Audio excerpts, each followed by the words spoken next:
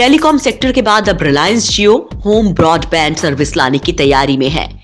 वहीं भारतीय स्मार्टफ़ोन बाज़ार में अपने कदम जमा चुकी चीनी कंपनी शयाओमी स्मार्टफ़ोन के साथ साथ टीवी और अन्य इलेक्ट्रॉनिक प्रोडक्ट देश में लॉन्च करने की प्लानिंग कर रही है। इसी प्लानिंग के तहत अब रिलायंस जियो और शयाओमी हाथ मिलाने की तैयारी में है। जियो पहले भी एप्पल के साथ मिलकर काम कर चुकी है।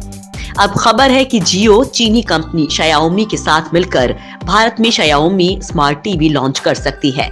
ये टीवी एक्सक्लूसिव तौर पर जियो रिटेल नेटवर्क और रिलायंस डिजिटल स्टोर पर बेचे जाएँगे।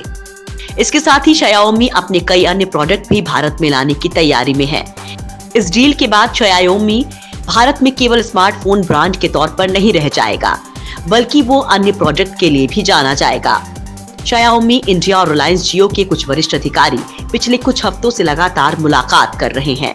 शायाओमी और रिलायंस की साझेदारी B to B smart point of sale के तहत होगी।